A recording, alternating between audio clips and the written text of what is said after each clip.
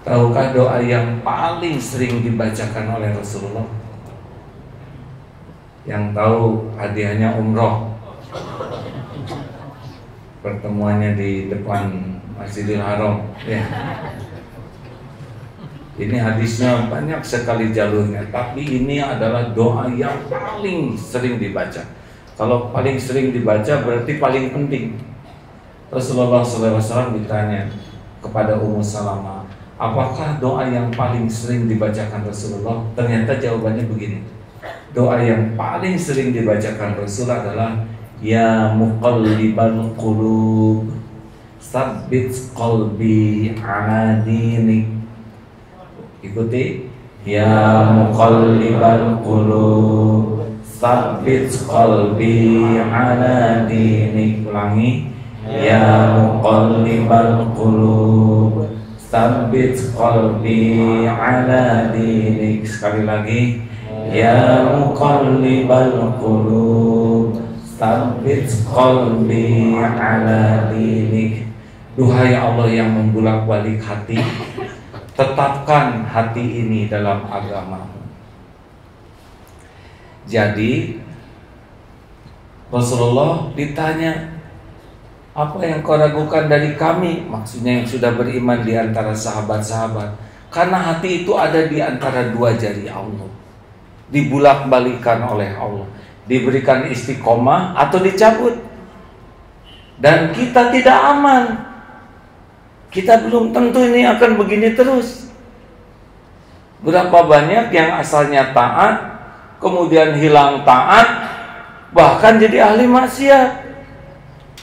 Maaf ya, mungkin akhwat pernah mendengar ibu-ibu yang sangat semangat berjilbab, tapi lambat laun dibuka jilbabnya, bahkan ada yang keluar dari Islam. Apa artinya?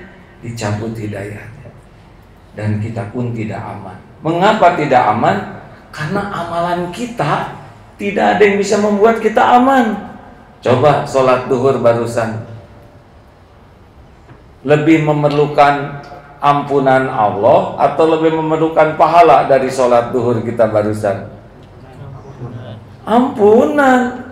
Kenapa habis sholat fardu sunnahnya istighfar bukan alhamdulillah? Padahal kan istighfar itu untuk dosa. Hamdalah itu untuk nikmat. Karena Allah tahu sholat kita tuh banyaknya nggak khusyuk. Benar? Ya, ini ada Pak Kapolres dari perwakilan Dandim dan Rame. Coba Pak kalau sedang apel khusus Bapak di depan Pak Tito misal. Terus ngelantur lebih memerlukan naik pangkat atau dimaafkan oleh komandan. Nah kurang lebih begitu atau siapa yang belum nikah dia belum ya datang ke calon mertua calon mertua fokus ada apa deh ada yang ngomong ngelantur lebih memerlukan diterima jadi menantu atau lebih menguntungkan tidak diusir. Kita sholat ngelantur hadirin. Pikiran ke mana saja? Allah Akbar kenapa sholat suara apa kalau begini? Ya terus saya mikir mungkin saum pusnodon sampai selesai sujud nggak ingat Allah. Fatihah nggak ingat itu dijawab oleh Allah.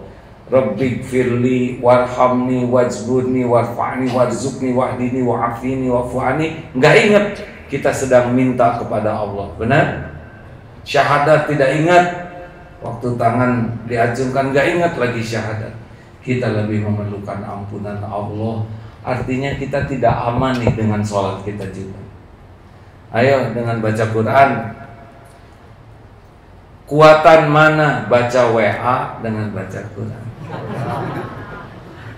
Mana yang bakal dipotong bacaan Quran atau bacaan WA kita lagi baca Quran WA masuk berhenti tuh. Dan terus dibuka grupnya. Selesai saja setengah jam. WA cuma sak Quran cuma yasin aja. Bangun tidur membroadcast bangun bangun sepertiga malam terakhir Saudara tahajud tidak? Tidak. Terus saja buka grupnya.